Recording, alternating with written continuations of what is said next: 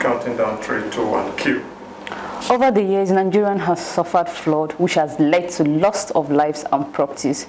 As we hope on the federal government to, as, to address the issue of flood and other related issues, joining me to discuss this issue today on the big agenda is distinguished Senator Aminu Iya Abbas, representing the Adamawa Central Senatorial District of Adamawa State.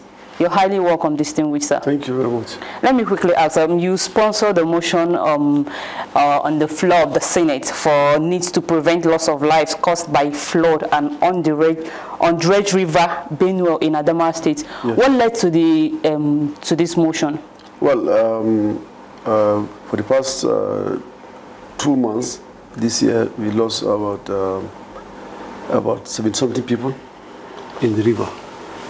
And, um, uh, you know, the purpose of governance is to secure uh, life and property.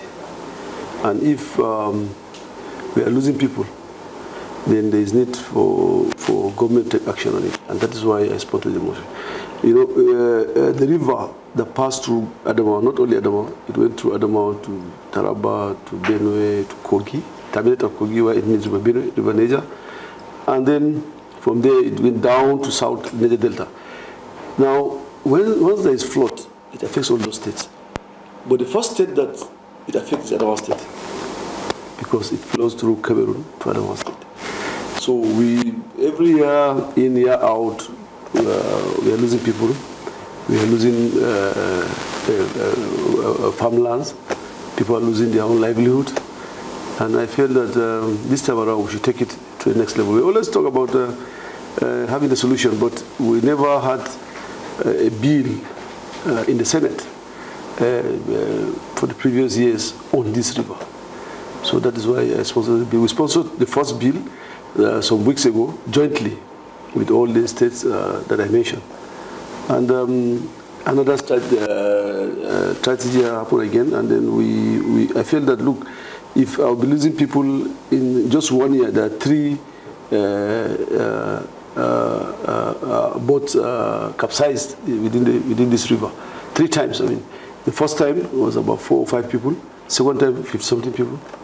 And then the last one, recent, is about uh, 30 something people. Only five uh, came out alive. So that calls for the motion to be moved. And um, uh, thank God, uh, the Senate, uh, the senators uh, backed the motion. And the Senate President emphatically stated that dredging of the river and uh, constructing the uh, Dasin Hausa Dam is key to this motion. And uh, I think we are telling the executive to include it in the budget of 2024 to ensure that that dam is being constructed. Okay, uh, like you rightly said, you say year in, year out, yeah. um, this has, will, Nigerians have over the time yes. lost life and yes. property. But this is not the first time. You are not even the first senator to sponsor a motion about flood. So many other senators have done that. And repeatedly, year in, year out, like you rightly said, it keeps happening. And if, if it, it, it, I feel or I think like the government relents or once this uh, rainy season is over, it's been overlooked. Like we go about talking about the problem, but there is no possible solution or the federal government don't find a possible solution to this. Well, that is How irony. do you think we Nigerians... That is the irony of the whole issue. You see, this dam that we're talking about is a bilateral agreement. There's a bilateral agreement before the dam in Cameroon is constructed. Nigeria and Cameroon sat together and then they agreed. Cameroon have their dam, Nigeria have their own dam. And Cameroon constructed their dam. And Cameroon cannot control the water that comes into Nigeria. Once the dam is getting full up, filled up, they, they have to release the water. And the water comes to Nigeria straight.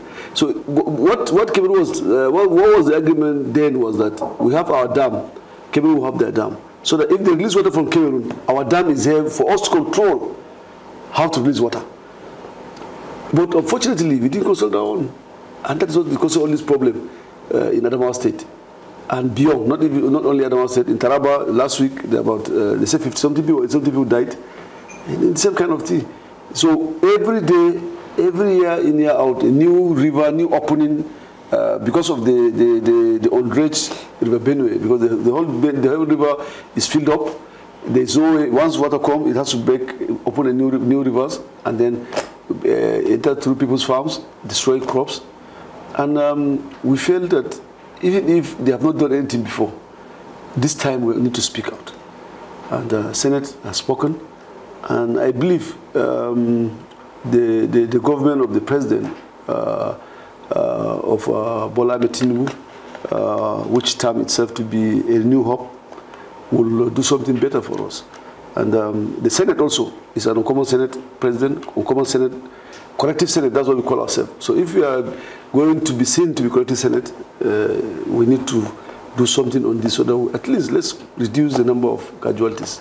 Okay, um, can you kindly tell us the extent you, um, the federal government, the Nigerian government has gone with the Cameroonian government to talk or to bring to end the um, dredge which the Cameroonian government to release every year that causes havoc to Nigeria? Well, you know, the first problem, the first thing is if there is bilateral agreement, is for both parties to fulfill. Cameroon usually announce that they are going to release the water, but they will not control the excess of water that they release. They won't control it. And nobody, and our people don't even believe if the Cameroon announce that they are going to release water in two days. You will not know what time they release this water, whether in the morning, afternoon, or night. So some people who cross, go to their farm, before they come back, the river get filled up. So since we can't control our, we can't, we can't control uh, on our own side, we won't be relying on a foreign nation to, to, to solve our problem. So the first thing is to construct that Dam, which will now warehouse every water that is coming from Cameroon. Then we now think of dredging the river. Because River Benue, there was never dredged. I've never heard when they say the dredge River Benue. River, River Niger was one time they attempted, they attempted dredging River Niger, but I don't know how far it went. But we never dredged River Benue. So this is what they are calling for. Let's do this and solve this problem. Uh, NEMA said over 600 people died uh, uh, with, this some few years on this river. Over 600 people. So how will a country sit, see all these casualties? The president, I can remember when there was um, there was this uh, tragedy that happened uh, about two times or three times. He instructed NIWA to investigate why these ships, uh, these boats continue capsizing in the river. So I, and I have not heard that they've submitted the report or, or submitted the report to the president or have they taken action on it. Nobody heard about it. That is why we are calling on the president, calling on the presidency to do something on this river, so that at least the purpose of us being elected uh, will be served. So is the Senate giving Nigerian hope that this time around we won't have to experience such incidents next year come well, rainy season? Well, you know, you know, you know how far we go. The Senate is to make laws, to make motions, resolution, and ask the executive to fulfill. We are doing our part, and we are lobbying to see that this thing is being achieved. But I will not guarantee you because I'm not on the other side. Uh, if you help me, uh, maybe get one of the other Minister of Water Resources or to ask him about this motion, there's this motion that is passed. I think Nigerians will know better. But for on our side, we'll try by all means to ensure that something tangible is now being budgeted for, for this either dredging or the or the construction of uh, uh, Dam. Okay, so um, to the affected victims, or what did the government do, or what is what is the government expected to do for the ones who are badly affected? Well, well we ask them to provide relief material for them, and um, uh, and I think um, we call on NEMA. If you look at the motion, we call on NEMA to provide relief material for the victims of the, uh, the people that lost the, the, the, families of the people that lost their life. So we ask them to help them because. Uh, somebody loses uh, a breadwinner, a father, their families. So we are calling on NEMA, we call it, and then it's part of the resolution of the Senate uh, to ensure that, for NEMA to ensure that they assisted uh, uh, the families of those victims. Okay, lastly, sir, before I come to an, uh, we come to an end of the program, uh, not just about flooding in Nigeria. Apart from flooding, we are faced with so many problems. Um, we talk about the security challenges. We talk about the economic growth. Now, um, Mr. President, um, Bola Ahmed Tinubu has um, given Nigerians hope, uh, a renewed hope. Mm -hmm. So, um, addressing all these issues, what what strategies would you advise the government to adopt to make sure that Nigerians get back to East Normal State? Because every day we know we are losing foreign investors, and we can't definitely continue like this. Well, if you if you look at the budget, the explanatory budget that is passed, is about one trillion that was passed for security agencies, and that is how far the president want to correct the issue of insecurity. There is nothing the security agents will ask the Senate and the presidency will not do. So it is now left to the security agencies uh, to, to, to utilize what is given to them to ensure that there is peace in Nigeria, to ensure that people will travel without thinking of uh, being kidnapped or being held. It is their responsibility because whatever they ask for is being provided. And the Senate, that's why we, the Senate did hesitate when they brought the supplementary budget. Nigerians will be asking, why did they bring supplementary budget and then you pass it within one or two days? We did this because we knew there is importance of uh, passing this budget because of the need to secure Nigerians. And that is why we passed the budget as, uh, with that speed.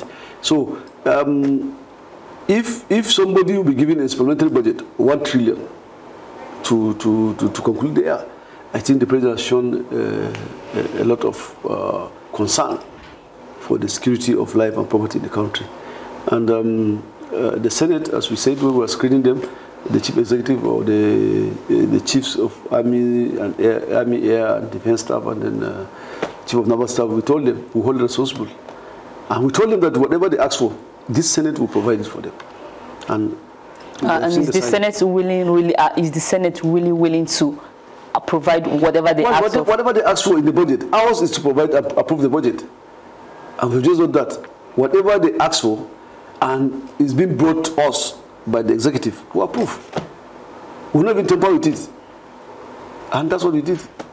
So uh, we hope that they will also live up to their the, the, the, the expectation by, by Nigerians uh, to defend Nigeria, both internal and against external aggression to the country. All right, thank you so much for your audience. We really do appreciate. And to this point, we'll come to the end of the program. Don't forget to follow us on all our social media platforms on Twitter, Instagram, Facebook, and of course on YouTube at Prime Reporters News. Thank you very much. I am Macy Emelite. Thank you, sir.